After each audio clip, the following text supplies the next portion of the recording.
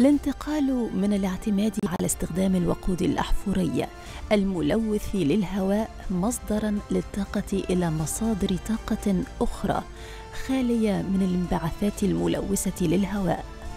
دفع العالم إلى البحث عن حلول لدرء أثار أسوأ أزمة مناخية قد يشهدها العالم في عصر ما بعد الصناعة.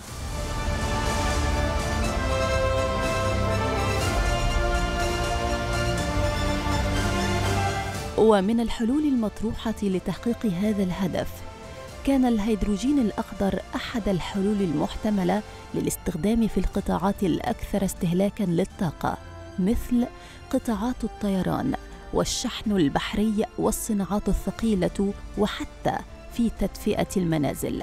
والهيدروجين هو أخف العناصر وأكثرها وفرة في الكون، بالإضافة إلى كونه مصدراً للطاقة النظيفة يمكن أن يكون بديلا للوقود الأحفوري الذي يعتمد عليه العالم في توفير قرابة 80% من إمدادات الطاقة في العالم ويعد المصدر الرئيسي لانبعاثات غازات الدفيئة المسببة للاحتباس الحراري. وفي الآونة الأخيرة أعلنت العديد من الدول حول العالم بما فيها الدول المتقدمة والأسواق الناشئة عن مبادرات للهيدروجين الأخضر.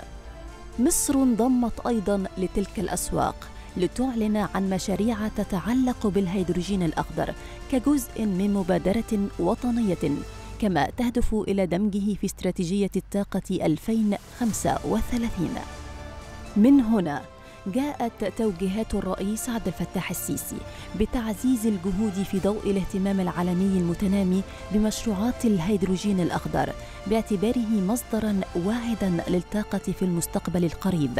وبما يصب في صالح الجهود التي تقوم بها مصر لتصبح ممرا لعبور الطاقة النظيفة ومن ثم مركزا محوريا للربط الكهربائي بين أوروبا والدول العربية والأفريقية.